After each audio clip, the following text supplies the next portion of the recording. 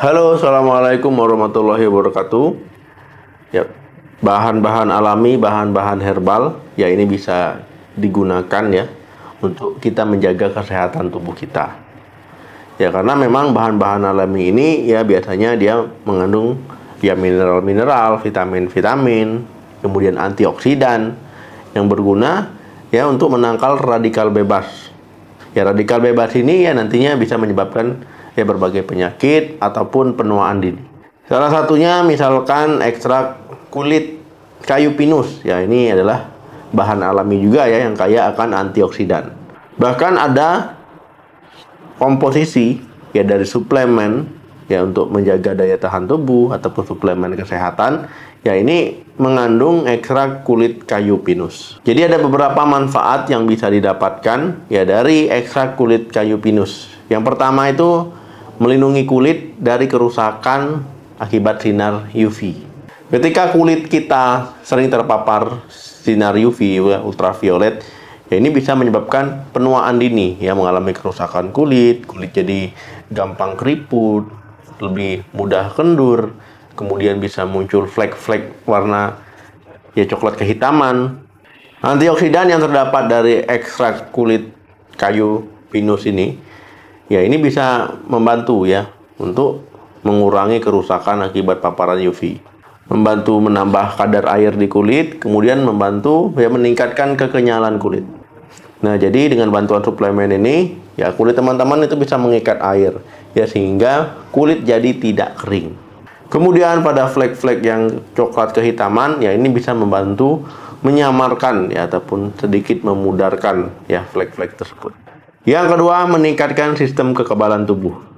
Bahan alami ini ya memiliki sifat sebagai imunodulator, ya artinya dia bisa meningkatkan ya imunitas tubuh kita, ya merangsang agar imun kita jadi lebih baik. Nah, jadi teman-teman ya bisa mengkonsumsi ya baik dalam bentuk suplemen ya untuk meningkatkan daya tahan tubuh ya agar tidak mudah sakit. Yang ketiga, anti radang. Suplemen ini bekerja sebagai anti radang, ya ini dia mengurangi pelepasan zat-zat yang berperan terhadap proses peradangan seperti sitokin, ya, antihistamin, dan zat-zat lainnya. Nah, jadi ya ini bisa membantu ya ketika kalian sedang mengalami peradangan, Ya selain mengkonsumsi obat dari dokter misalkan ya ini bisa dibantu dengan suplemen ataupun ekstrak dari bahan alami ini. Yang keempat mengurangi gejala perimenopause. Gejala pramenopause yang paling umum ya ini seperti misalkan kesulitan tidur ya sulit tidur di malam hari, insomnia.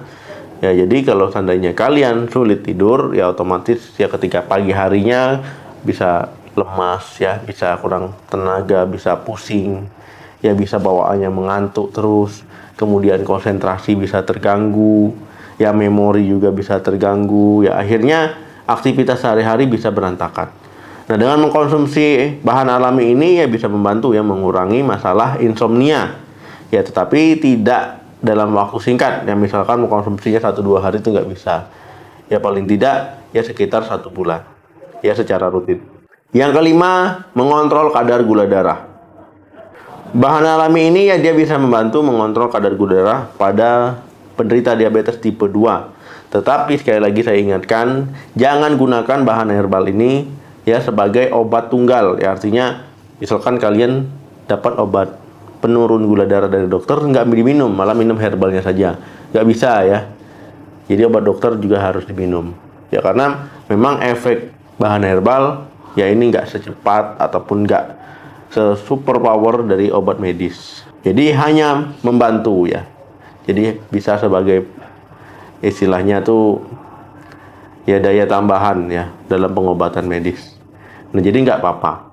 Yang keenam memperbaiki disfungsi ereksi. Ada sebuah penelitian ya yang mengatakan ya mengkonsumsi bahan herbal ini secara rutin ya ini bisa membantu mengatasi disfungsi ereksi ya hipotensi Ya, tapi di sini dikonsumsi selama 4 bulan ya. Jadi lama ya. Intinya ada manfaatnya ya untuk masalah kesehatan pria ya tetapi tidak dalam waktu singkat. Bahan herbal ini adalah bahan alami ya. Jadi boleh dikonsumsi ya tetapi misalkan kalian membeli suplemen, baca aturan pakainya, pastikan sudah BPOM ya kemudian jangan jadikan bahan herbal sebagai pengobatan utama.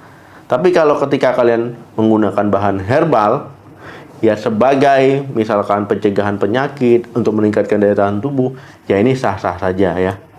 Oke teman-teman, terima kasih yang sudah menonton video ini sampai habis. Jangan lupa like, share, dan komen. Sampai ketemu lagi di video saya selanjutnya. Salam sehat, sampai jumpa.